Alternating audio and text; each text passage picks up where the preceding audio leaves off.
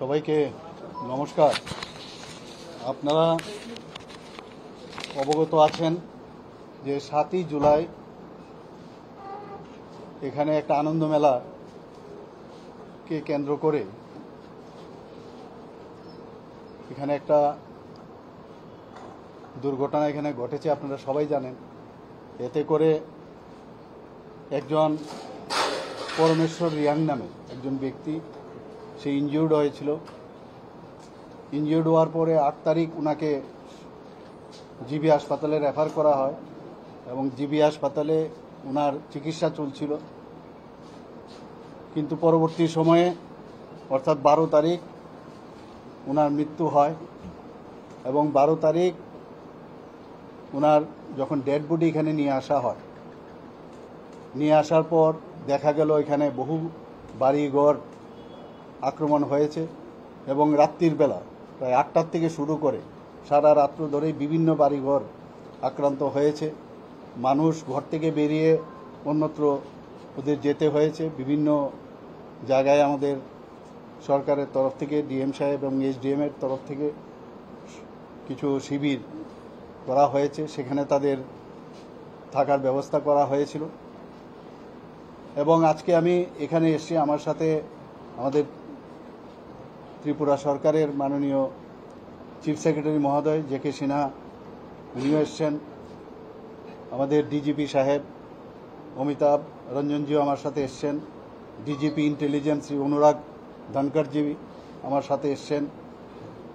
এবং home secretary প্রদীপ চক্রবর্তীও এসছেন। তাছাড়া রেভিনিউ এবং ট্রাইবেল ওয়েলফেয়ার যিনি সেক্রেটারি মহোদয় আছেন, শ্রী বিজেশ পাণ্ডেও এসছেন। Tapas Roy secretary social welfare এবং সোশিয়াল এডুকেশন উনিও এসছেন চিফ ইঞ্জিনিয়ার শ্রী রাজীব দেববর্মা মহোদয় পিডাব্লিউডির উনাকেও আমি নিয়ে এসেছি। এবং Subhasis Das director tribal welfare উনিও এসছেন এবং এই জেলার, অর্থাৎ ধলাই জেলার যিনি ডিএম সাহেব আমার সাথে আছেন এবং এসপি ধলাইয়ের শ্রী অবিনাশ রায় মহোদয় আমার সাথে আছেন। এবং অন্যান্য অফিসিয়ালরা এখানে আছেন, আমাদের সাথে উপস্থিত আছেন নন্দিতা রিয়াং মাননীয় বিধায়িকা রাইমা বেলি। আজকে এখানে আমি বিভিন্ন জায়গায় আমি গেছি। যিনি মারা গেছেন ওনার বাড়িতেও আমি গেছি। ওনার বাবার সাথে কথা হয়েছে, মার সাথে কথা হয়েছে। ওনার দুই ভাই এবং বোন আছে, ওদের সাথেও আমার কথা হয়েছে।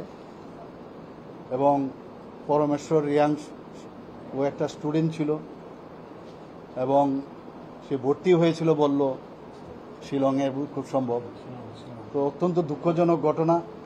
আমরা আগরতলা থেকে তো শুনেছি যখন এই সব ঘটনা হচ্ছিল, তখন আমার নজর ছিল এবং সমস্ত বিষয়ে আমি ডিএম সাহেব, এসপি মহোদয়, আমরা সবাই মিলে আমরা কিন্তু তৎপর ছিলাম এবং বরাবর এটাকে মনিটরিং করছিলাম। তো আজকে আপনারা সবাই জানেন যে আমি এখানে এসেছি, এই পুরো টিম নিয়ে আমরা এসেছি। আসলে যতক্ষণ ধরে না দেখা যায়, ততক্ষণ ধরে বোঝা যায় না কি ধরনের এখানে যে ঘটনাগুলো হয়েছে, সেই ঘটনা সম্পর্কে প্রত্যক্ষ একটা ধারণা হলো। আজকে এখানে আমি নারায়ণপুর মার্কেটও আমি গেছি। আর যেটা আমি বললাম, পরমেশ্বর রিয়াং যিনি মারা গেছেন ওনার বাড়িতে আমি গেছি। থার্টি থ্রি কেবি এবং রিলিফ ক্যাম্পেও আমি গেছি। থার্টি কার্ডে সেখানেও আমি গেছি। বিভিন্ন জায়গায়ও গেছি। তো আমি তো এই বিষয়গুলো আমি জানলাম এবং পরবর্তী সময়ে আরও এই বিষয়ে আমরা কথাবার্তা বলব আধিকারিকদের সাথে। এবং সবাইকে কীভাবে রিলিফ দেওয়া যায়, যারা আক্রান্ত হয়েছেন এবং যারা, যার ফ্যামিলির মধ্যে একজনকে হারিয়েছেন, তাদের জন্য সরকারের তরফ থেকে আমরা অলরেডি কিছু করেছি, কিন্তু আরও কি কি করা যায়, আজকে আপনাদের মাধ্যমে আমি জানাতে চাই।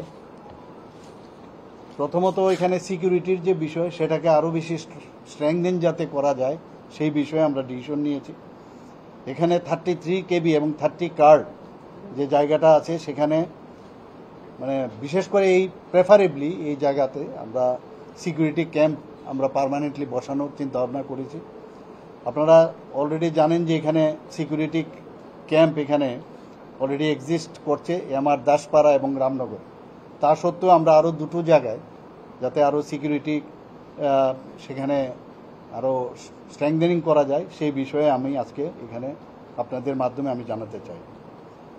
যেখানে রিলিফ এবং অ্যাসিস্ট্যান্স টু এফেক্টেড ফ্যামিলিসের যেখানে প্রশ্ন, যা পরমেশ্বর রিয়াং যিনি মারা গেছেন, ওই ফ্যামিলির কে আমরা এর আগে যে আমরা আর্থিকভাবে সাহায্য করেছিলাম প্রায় ছ লাখের মতো, সেখানে আরও চার লাখ আরও দেওয়ার কথা আমি ঘোষণা করছি। অর্থাৎ টোটাল দশ লাখ আমরা ওই ফ্যামিলিকে আমরা দিচ্ছি।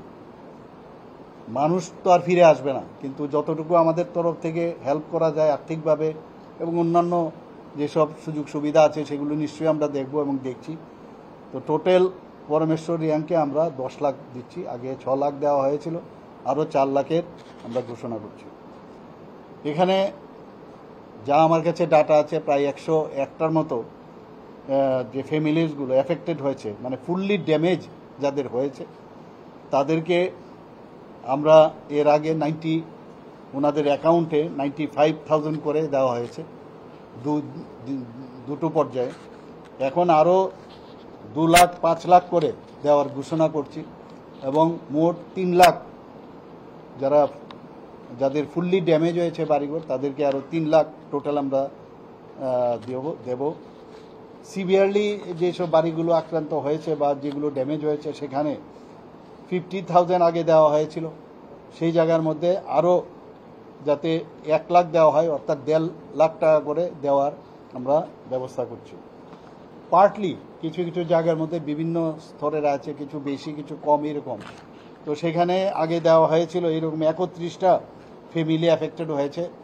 তো সেখানে এইটিন নাম্বার যেখানে পঁচিশ হাজারটা দেওয়া হয়েছিল আগে, সেখানে ডাবল আমরা করেছি, সেখানে আরও পঁচিশ হাজার দিয়ে পঞ্চাশ হাজার করে আমরা দিচ্ছি। যারা ফাইভ নাম্বারস যেখানে টোয়েন্টি থাউজেন্ড করে আগে দেওয়া হয়েছিল, তাদেরকে আরও টোয়েন্টি থাউজেন্ড দিয়ে ফোরটি থাউজেন্ড পার ফ্যামিলি আমরা দিচ্ছি। থ্রি নাম্বারস যাদেরকে পনেরো হাজার টাকা দেওয়া হয়েছিল, তাদেরকেও আমরা পনেরো হাজার আরও দিচ্ছি। অর্থাৎ থার্টি থাউজেন্ড পার ফ্যামিলি আমরা দিচ্ছি। যেখানে টেন থাউজেন্ড দেওয়া হয়েছিল। এবং সেখানেও আরও টেন থাউজেন্ড দিয়ে টোয়েন্টি থাউজেন্ড পার ফ্যামিলি আমরা দিচ্ছি। যারা ফাইভ থাউজেন্ড পেয়েছিল তাদেরকে আরও ফাইভ থাউজেন্ড দিয়ে আমরা টেন থাউজেন্ড পার ফ্যামিলি আমরা দিচ্ছি। অর্থাৎ টোটাল এখানে ফুললি, সিভিয়ারলি এবং partly one forty five family affected হয়েছে।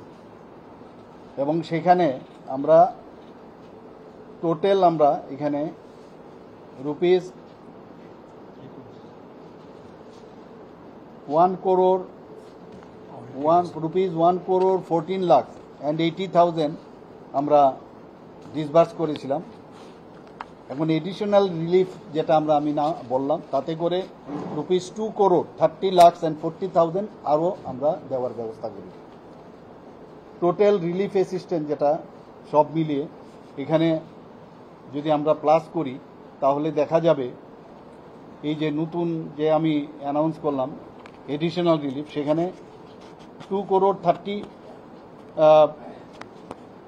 thirty lakh এবং ফোরটি থাউজেন্ড আমি বললাম। অর্থাৎ এইগুলো যদি আমরা অ্যাড করি, তাহলে টোটাল রিলিফ সব মিলিয়ে আমরা three crore forty five lakh and twenty thousand আমরা দিচ্ছি। আমরা এর আগেও গন্ডা তুইসা নিয়ে আমরা চিন্তা ভাবনা ছিল, আরও কি কি আমরা করা যায়। তো আজকে আপনাদের মাধ্যমে আমি ঘোষণা দিতে চাই যে যেসব ডেভেলপমেন্ট এই গন্ডা তুইসা বা আগে যার নাম ছিল গন্ডাছড়া সেইগুলো আমরা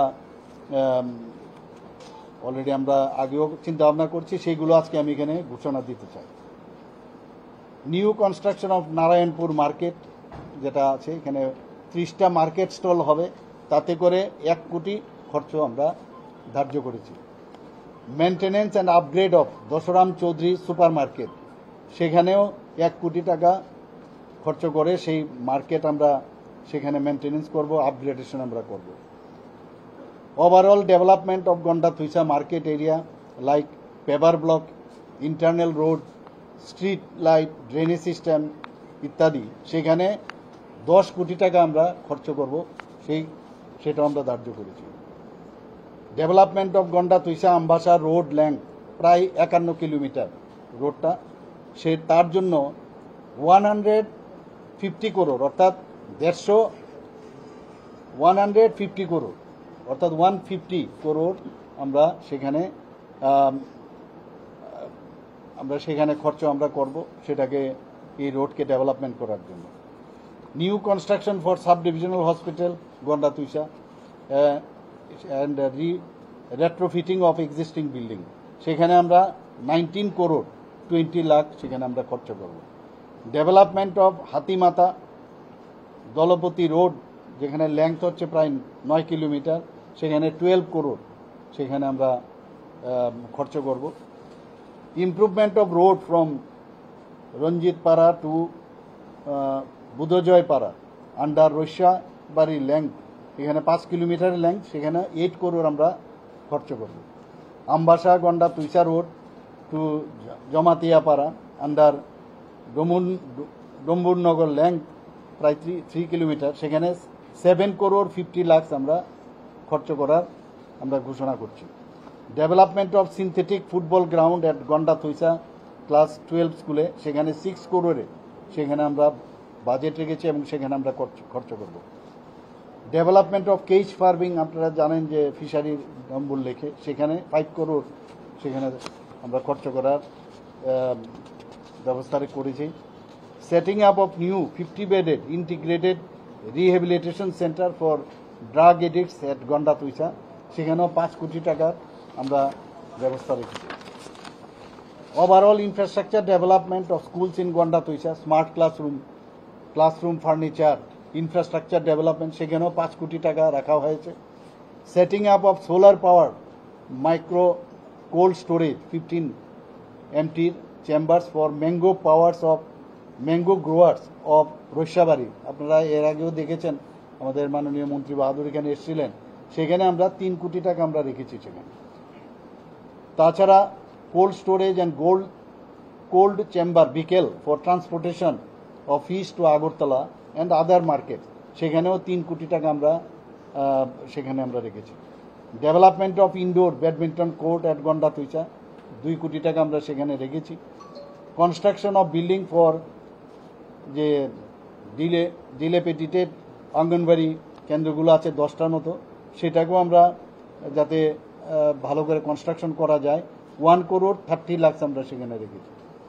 Setting up of live CCTV coverage at Ganda Twisa market যাতে করে পুলিশদের পক্ষে সম্ভব হয় কে মানে কোনো জায়গায় কোনো কোনো ঘটনা যদি হয়, তার যদি সেখানে সে কাভারেজ পুলিশের জন্য সুবিধা হবে। তার জন্য টেন লাখ আমরা ধার্য রেখেছি। তো total two hundred thirty nine crore ten lakh আমরা টোটাল এই ডেভেলপমেন্ট গন্ডা তুইসার জন্য আমরা ব্যবস্থা রেখেছি।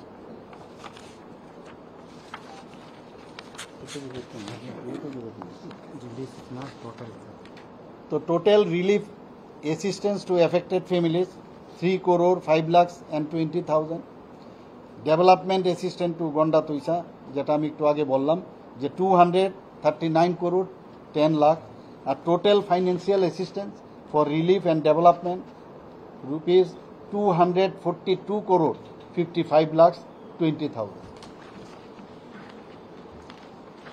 আমরা চাই যে শান্তি ছাড়া কোনো অবস্থায় আমাদের রাজ্যই হোক, দেশই হোক, কোনো অবস্থায় সামনের দিকে এগিয়ে যাওয়া যায় না। আমাদের মাননীয় প্রধানমন্ত্রী নরেন্দ্র মোদীজি বারবার বলেন যে সবকা সাথ, সবকা বিকাশ, বিশ্বাস আর তার প্রয়াস। সেই দিশায় আমরা চলতে চাই। এখানে যারা চক্রান্ত করছে, অশান্তি সৃষ্টি করার চেষ্টা করছে, তাদেরকে নিশ্চয়ই আমরা আইন দেখবে এবং আইন আইনের পথে চলবে। এবং আগামী দিন যেন এই ধরনের ঘটনা না হয়। জাতি, জনজাতি, আমরা যাতে ঐক্যবদ্ধ হয়ে এক ত্রিপুরা, শ্রেষ্ঠ ত্রিপুরা গড়ার যে চিন্তা ভাবনা আমরা বারবার বলি, সেটা যেন হয় এবং আতঙ্কের পরিবেশ যারা তৈরি করবে, তাদের বিরুদ্ধে কঠোরভাবে আমরা